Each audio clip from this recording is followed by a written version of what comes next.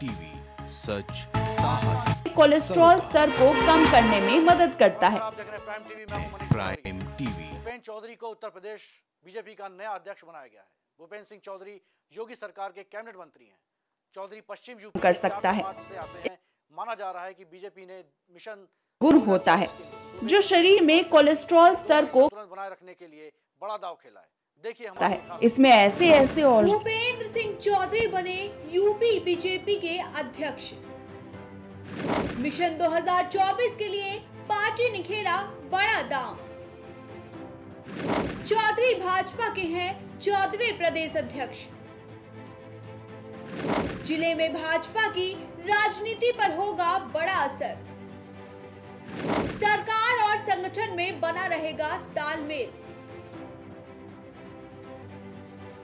लोकसभा चुनाव 2024 में मिशन 80 को पूरा करने के लिए भाजपा ने प्रदेश सरकार के पंचायती राज मंत्री, पश्चिम यूपी के बड़े जाट नेता भूपेंद्र सिंह चौधरी को पार्टी का प्रदेश अध्यक्ष नियुक्त किया। यूपी के नए बीजेपी अध्यक्ष बनाए गए भूपेंद्र सिंह चौधरी जाट बिरादरी और पश्चिम यूपी में मज़बूत पकड़ रखते हैं। दरअसल चौधरी की नियुक्ति से न केवल पार्टी ने जाट वोट बैंक को साधा, बल्कि लगातार दूसरी बार पिछड़े वर्ग से प्रदेश अध्यक्ष नियुक्त कर पश्चिम से पूर्वांचल तक पिछड़े और अति पिछड़े वोट बैंक को भी साधने की कोशिश की है। चौधरी भाजपा के चौदहवें प्रदेश अध्यक्ष हैं और पार्टी ने पहली बार किसी जाट नेता को संगठन की कमान सौंपी है। भूपेंद्र चौधरी का जन्म मुरादाबाद ज़िले के महेंद्र सिकंदरपुर गाँव में उन्नीस में एक किसान परिवार में हुआ था।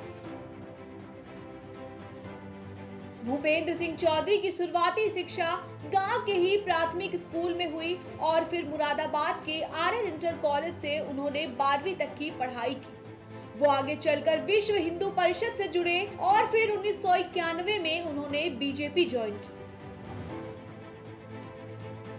अभी फ़िलहाल यूपी विधान परिषद के सदस्य हैं। उन्हें 10 जून 2016 को उत्तर प्रदेश विधानसभा परिषद का सदस्य चुना गया था। साथ ही 2012 में वो बीजेपी के क्षेत्रीय अध्यक्ष रहे।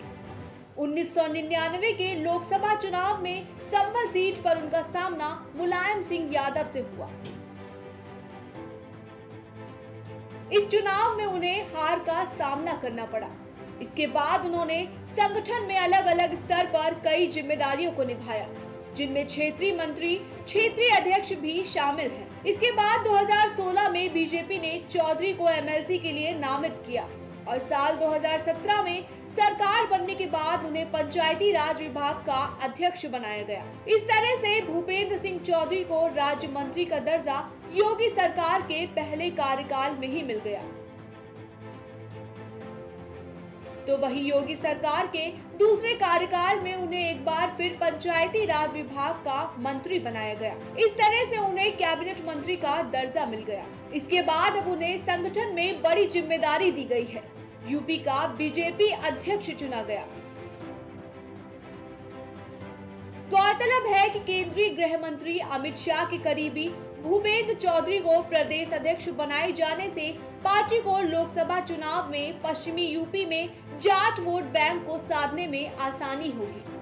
आगामी लोकसभा चुनाव के मद्देनजर पार्टी को प्रदेश अध्यक्ष के रूप में एक अनुभवी और कद्दावर नेता के साथ ऐसे नेता की तलाश थी जो वोट बैंक के लिहाज से भी मुफीद हो। साथ ही सरकार और संगठन में तालमेल बनाने के साथ आरएसएस और विचार परिवार के संगठनों की अपेक्षाओं पर भी खरा उतर सकता हो। प्रदेश अध्यक्ष पद को लेकर विभिन्न दावेदारों के बीच तीन चार महीने से चलती दौड़ के बीच पार्टी के शीर्ष नेतृत्व और आरएसएस ने चौधरी को प्रदेश अध्यक्ष पद के लिए सबसे उपयुक्त माना। बता दें कि भाजपा के निर्वर्तमान प्रदेश अध्यक्ष स्वतंत्र देव सिंह का तीन साल का कार्यकाल 16 जुलाई को समाप्त हो गया था, जिसके बाद उन्होंने 27 जुलाई को पार्टी के प्रदेश अध्यक्ष पद से इस्तीफा दे दिया था। उसके बाद से ही प्रदेश अध्यक्ष की नियुक्ति को लेकर लखनऊ से दिल्ली तक चर्चाओं और अटकलों का दौर चल रहा था। और अंत में प्रदेश अध्यक्ष भूपेंद्र चौधरी को बनाने की घोषणा हुई। तो उधर भाजपा के नवनियुक्त प्रदेश अध्यक्ष बनने के बाद भूपेंद्र सिंह चौधरी ने कहा कि वो पार्टी और कार्यकर्ताओं की अपेक्षाओं के अनुसार काम करेंगे। उन्होंने कहा कि उत्तर प्रदेश में भाजपा का संगठन बूथ स्तर तक खड़ा है। 2024 में प्रधानमंत्री नरेंद्र मोदी के नेतृत्व में यूपी की सभी 80 लोकसभा सीटों पर भाजपा जीतेगी। खैर, अब देखना ये होगा कि भाजपा द्वारा यूपी बीजेपी अध्यक्ष बनाए जाने के बाद भाजपा 2024 में जाट वर्ग के वोटों को किस हद तक साथ पाएगी? Bureau report Prime TV. फ़िलहाल हमारी खास रिपोर्ट में बस इतना ही। देश प्रदेश की खबरों के लिए देखते रहिए प्राइम टीवी। नमस्कार। कुछ भाव पुष्प। आप देख रहे हैं